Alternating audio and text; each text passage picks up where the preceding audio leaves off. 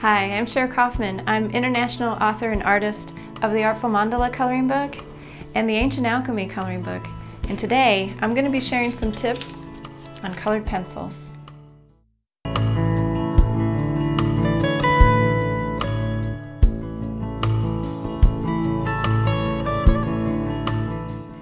Okay, welcome to this segment about colored pencils.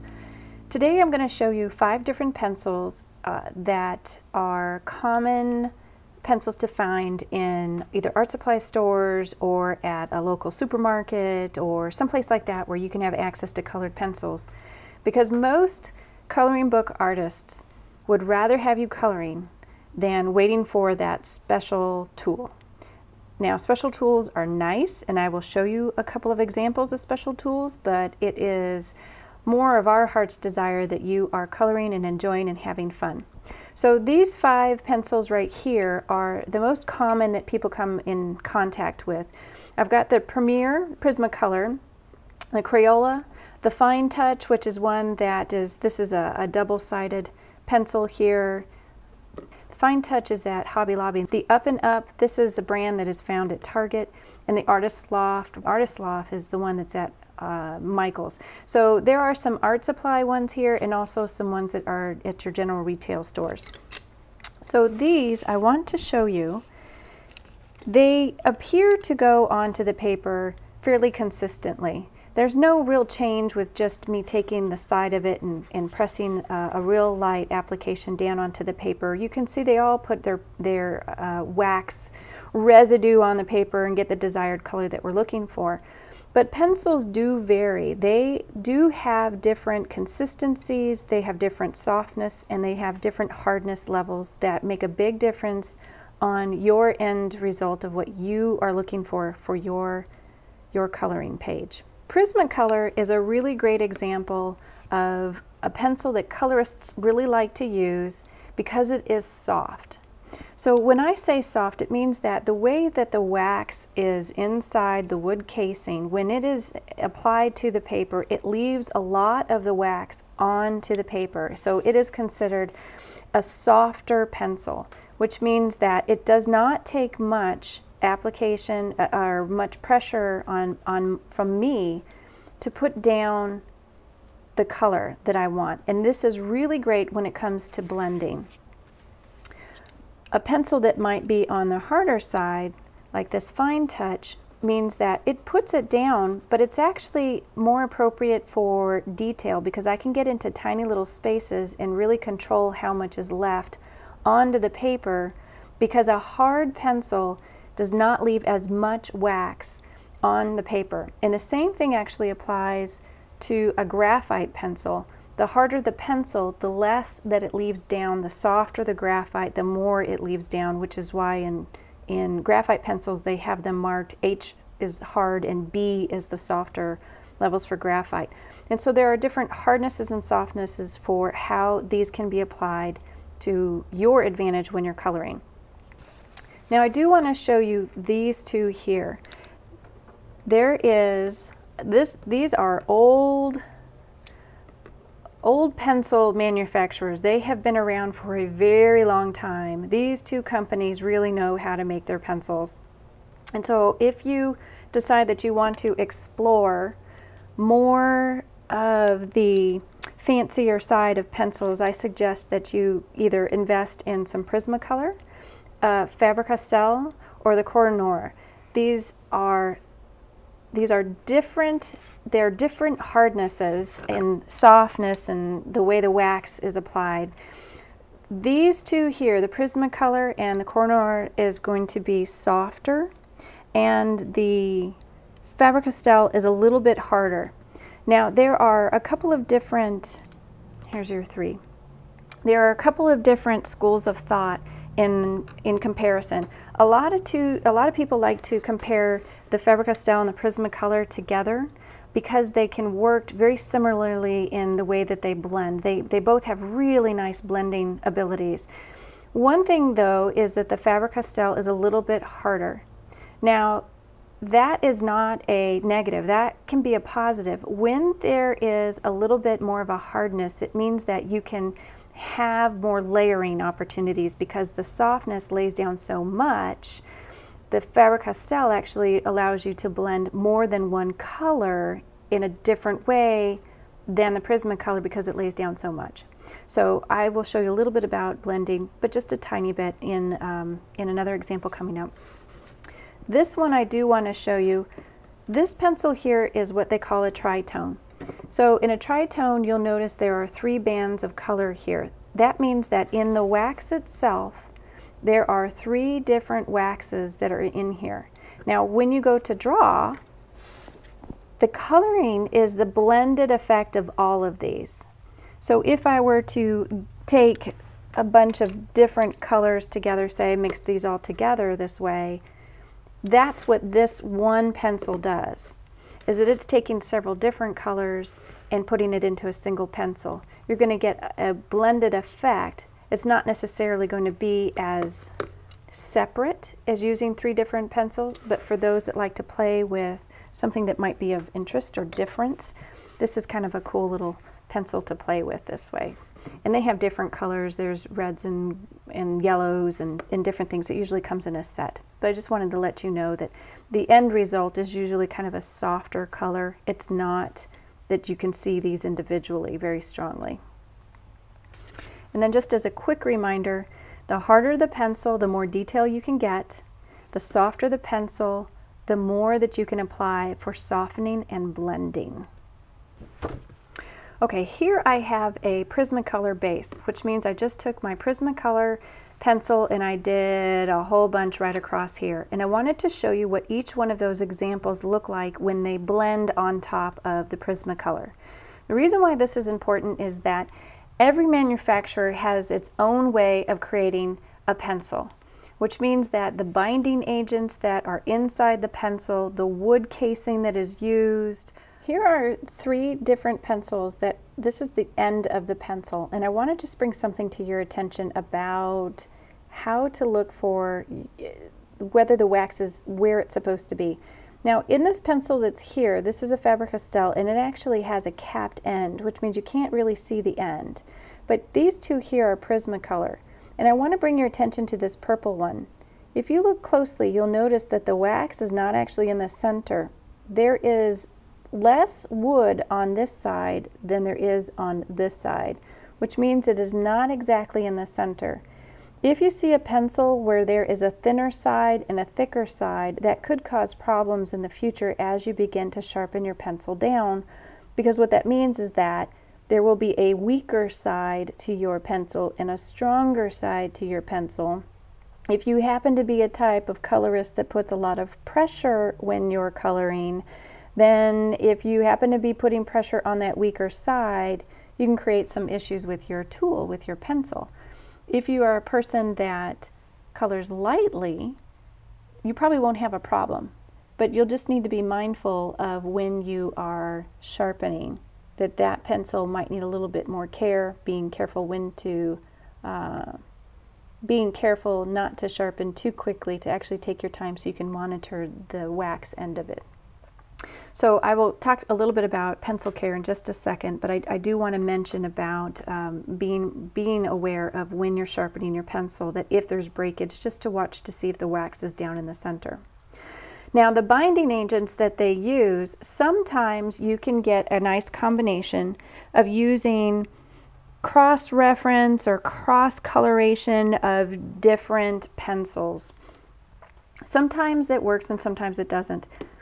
When I use the Crayola over the top of the Prismacolor, my experience has been that sometimes I can get away with with blending those together and I get a soft combination and they still work well together. Other times I have found that the Crayola has a little bit harder wax and does not always blend well with the Prismacolor. So it's something I kind of have to play with and see how it works depending on what I'm coloring. These three here, the Fine Touch, the Up and Up, and the Artist's Loft, and if you recall here, the Fine Touch, the Up and Up, and the Artist's Loft here, they were more on the harder side, with the Artist's Loft being kind of in the middle. So here what I noticed is that when I put them on top of the Prismacolor, they were the fastest to create what we call a wax bloom. Now a wax bloom is when the wax begins to create a shine.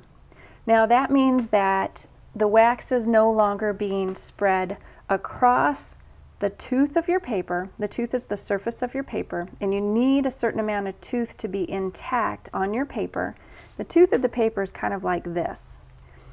And when you have a stronger tooth, you have these little divots that go inside. If you mash them down by coloring hard, you smash the tooth of the paper. When you smash the tooth of the paper, it cannot accept any more pigment.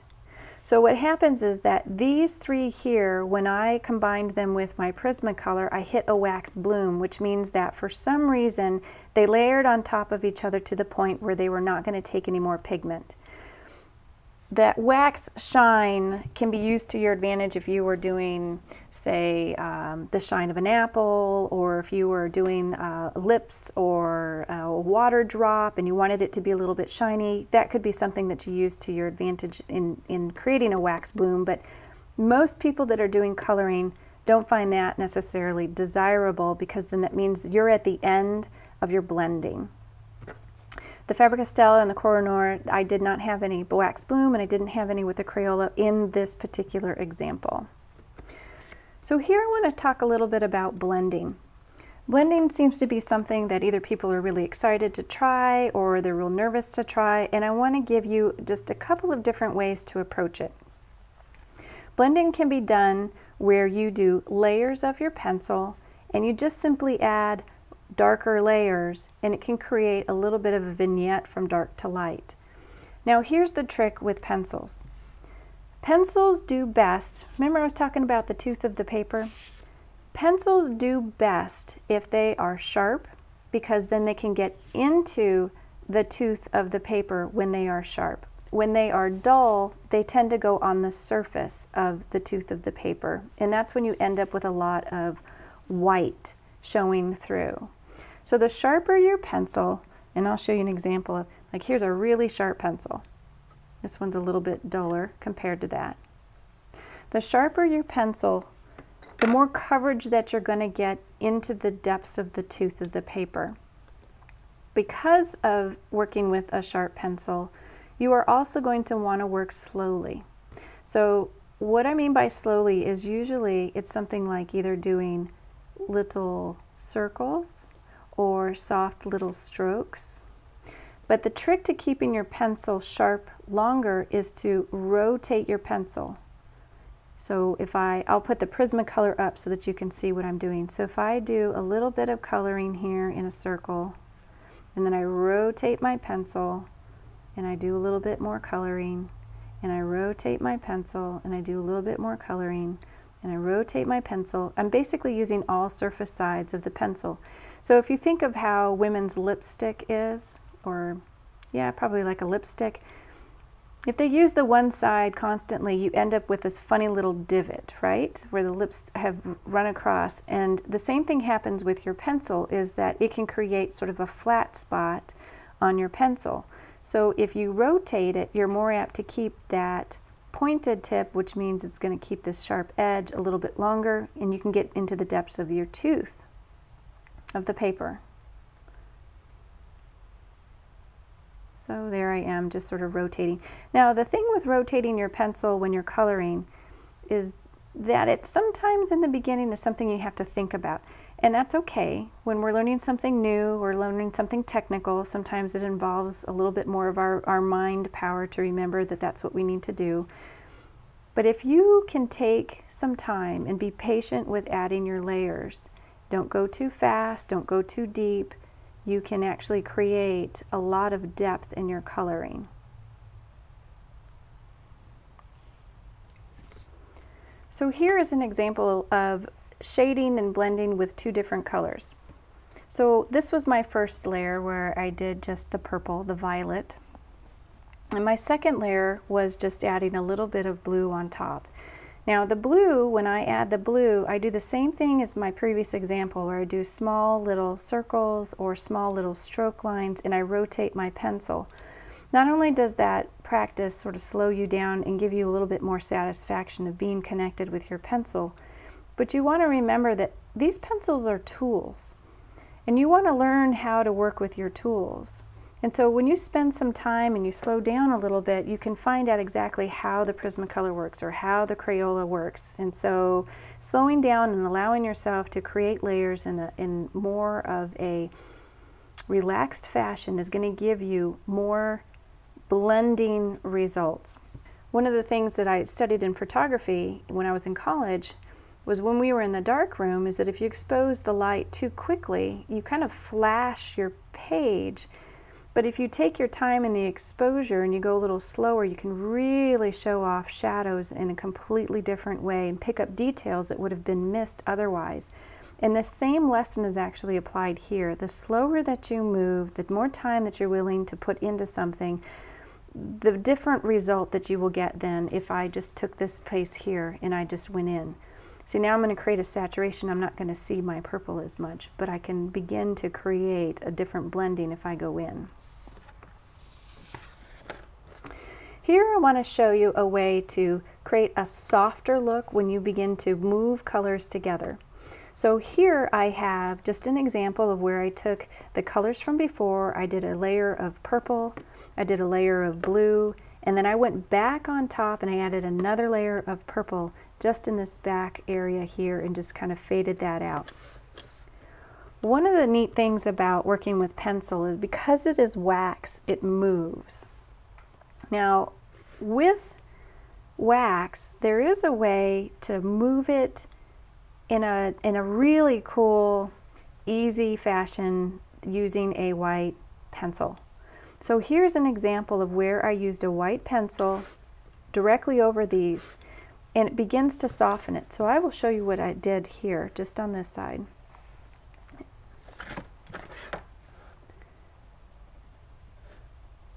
And I'm just going to use this white pencil and I'm just doing small little circles. And what the white pencil does, because it is made out of the same binding agents as the pigment, it's going to create a softer movement of those colors and it's going to blend it in a nice, nice way that you wouldn't get otherwise. Now here, this is where I used a colorless blender. A colorless blender, this one's from Prismacolor, is made out of the same binding agent that your pencil is made out of and it can move the wax without applying pigment.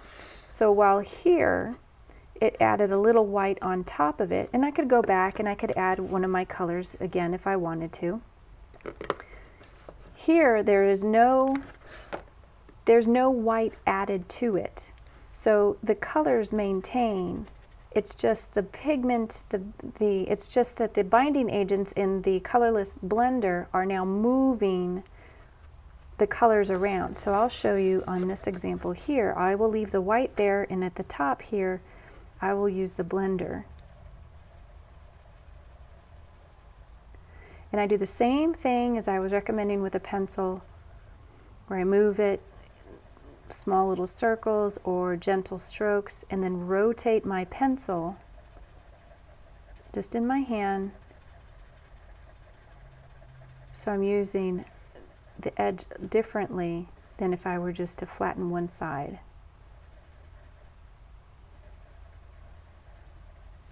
So you can see where the pencil was by itself, the white blender, which is just a simple white pencil, and this is a colorless blender, which is basically just like a pencil, has the same binding agents, but has no pigment added.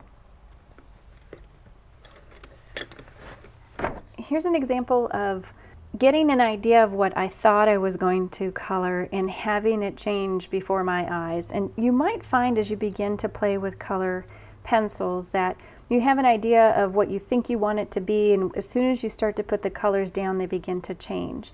So this is another work in progress, obviously. There's lots of white areas here. But what I want to point out to you is these little spaces in here. So one of the things that I did was I, I did a, uh, a darker application of the pencil right in the corner and did a lighter, I just lightened my pressure and just allowed that pencil to be real light so that I could create kind of a, a, a rounded effect when it moved from the corner tips inside. But the other thing that I did is, remember I was talking to you about the white pencil? and how you can use it for blending. Well, here's another thing is you can use any light colored pencil if you wanted to. So I actually used, this one's called Sky Blue Light. And that's what I did in these little areas here is that I actually just used this light blue color and I even did it all the way up into the corners here to create change, to create a softer look to it without taking away with the white pencil but still using the same type of application, just using a different lighter color. So that's something that you can keep in mind with that. Now if I wanted to, out of, out of curiosity, while I've got you here, let's just see what happens if I use this right down the center of this guy here. I'm going to turn my page. See what kind of blended effect I get. And I don't know if you're paying attention to see that I'm actually rotating my pencil as I go and doing more of these little small circles.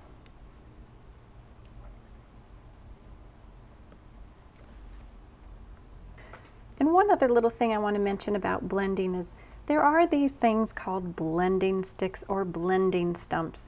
And the one that I'm going to show you today is pressed paper. There are some that are rolled paper, and I like the rolled paper when I'm working with graphite, but I do like the pressed paper when I'm working with pencil. So you can see there's a little bit of blue right on the tip of this right here. That's where I used it on the pencil. And so this is another way, if I didn't have a colorless blender or if I didn't have, um, uh, say, a, a, fancy light blue pencil or something in the color spectrum that I was working with, I could use these blending tools here, these blending stumps. So I'm just going to use this right in here just to see if you can It doesn't move it quite the same way. Well, it's moving it because I can see a little bit here at the tip. I was going to see if it would move it in a way that would be more dramatic for you to see, but I, what I'm seeing is that it, there's a softening, but I don't know if it's going to be enough for you to see on the video. I'm going to use the tip right here on these little places. Actually, here, let's try this. Let's see if this will help you see this. Yeah, that will help you see it a little bit more. So this does not have any of the binding material of the pencil. It simply is moving the wax because this, this is a paper product that is pushing the wax.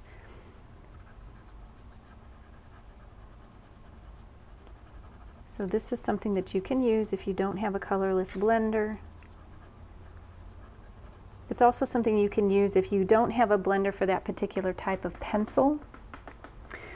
The one thing you need to, to keep in mind is that this is paper and it does pick up the wax and so I don't know if I would be taking this blue tip and putting it on say a bright yellow area someplace else on my page. You might want to have blending sticks of different colors. In other words, this might be all blues. I might have another one that is for my yellows, um, another one for my reds just so that you can kind of keep the blending kind of clean for yourself. And let's see what this does for you here. Since this is mostly all in the blues area, I can go ahead and use this pretty much for everything. I don't think I will use it on my orange though. Now one thing here is that I did a couple of different layers of uh, blues and greens right along the edge here because I wanted to create a little bit of depth. And I'm just going to soften that with this here with this blending stump. And I'm doing little circles from the center out so that it creates sort of this coming in towards the center of the body here. And again, this doesn't have to be a lot of pressure. You don't have to do a lot of pushing down to create a change. It's not about pressing hard. Coloring should not be about pressing hard with any of your materials. As a matter of fact, if you're pressing too hard, you need to take a look at what you're doing probably in the other areas of your life because that indicates a bigger energetic implication of how you're using your energy. The tools and coloring are actually tools and being able to help you with life, relax and let go just a little bit at a time. Images that were used today are from the Artful Mandala coloring book, Creative Designs for Fun and Meditation. Thanks for joining me. I'm Cher Kaufmann. Until next time from the drawing desk, may you find more color in your day.